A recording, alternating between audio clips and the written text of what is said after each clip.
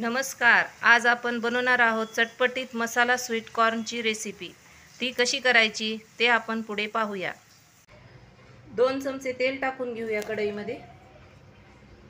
अर्धा चमचा जिरे घालून घेऊया. मी दोन ते तीन मिरच्या बारीक चिरून घेतलेल्या आहेत त्या याच्यामध्ये ॲड केलेल्या आहेत. एक टमाटर मी बारीक चिरून घेतलेला आहे ते आता याच्यामध्ये ॲड करूया. एक चमचा तिखट टाकूया. आपण अगोदर पण हिरवी मिरची वापरलेली आहे. अर्धा चमचा हळद टाकून घेऊया. अर्धा चमचा चाट मसाला थोडीशी कोथिंबीर टाकून घेऊया. ह्या फोडणीमध्ये आता हे स्वीट कॉर्न आपण ॲड करून घेऊया. व एकत्रित करून घेऊया. चवीपुरतं मीठ टाकून घेऊया. आणि अर्ध्या लिंबाचा रस टाकूया.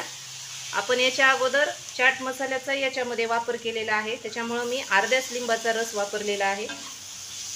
थोडीशी कोथिंबीर टाकून घेऊया.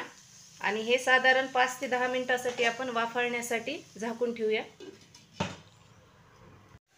हे स्वीट कॉर्न मस्त असे वाफाळलेले आहेत. हे आता मी सर्व करीत आहे.